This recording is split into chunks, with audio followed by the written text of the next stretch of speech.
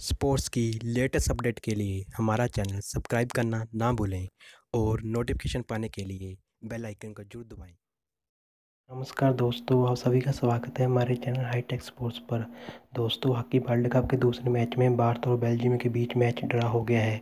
Match की शुरुआत में ही बेल्जियम ने आठवें मिनट में गोल कर बेल्जियम को बढ़त दिला दी। भारत की तरफ़ से हरमनप्रीत सिंह ने चालीसवें मिनट में गोल किया, जिसे उनतालीसवें मिनट में भारत को पेनल्टी का मिला था, जिसे हरमनप्रीत सिंह ने लिया और उन्हें गोल पोस्ट में पहुँचा दिया। है ये मैच जीतने वाली टीम सीधा क्वार्टर फाइनल पहुँचने वाली थी। जब मैच समाप्त होने वाला था, तब ऐसा लग रहा था कि भारतीय टीम इस मैच को जीत जाएगी, पर मैच के छप्पनवें मिनट में बेल्जियम की तरफ़ से गोल कर दिया गया है, जिसे भारत की उम्मीदें पर पानी फिर गया इस मैच में बेल्जियम की टीम ने शानदार प्रदर्शन किया और शुरुआती मिनट ही पेनल्टी कारण हासिल कर लिया। पहले क्वार्टर की समाप्ति तक बेल्जियम के पास बढ़त बरकरार रही।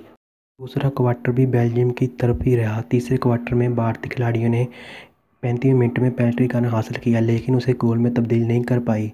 इसके बाद चालीसवें मिनट में हरमनप्रीत सिंह ने गोल कर स्कोर को एक एक के बराबर कर दिया। इसके बाद सैंतालीसवें मिनट में सिमरनजीत सिंह ने गोल दागकर स्कोर को दो एक कर दिया। मैच समाप्ति की कुछ समय पहले तो ऐसा लग रहा था कि भारत इस मैच को जीत लिया है, परंतु छप्पनवें मिनट में बेल्जियम की तरफ़ से गोल कर दिया गया और ये मैच ड्रा पर समाप्त हो गया। भारत का अगला मैच शनिवार को कनाडा से होगा। दोस्तों, आपको कैसी लगी हमारी न्यूज़? हमें कमेंट करके ज़रूर बताएँ। अगर आप हॉकी के फ़ैन हैं तो एक लाइक ज़रूर करें और स्पोर्ट्स की लेटेस्ट अपडेट के लिए हमारा चैनल सब्सक्राइब ज़रूर करें। Thanks for watching.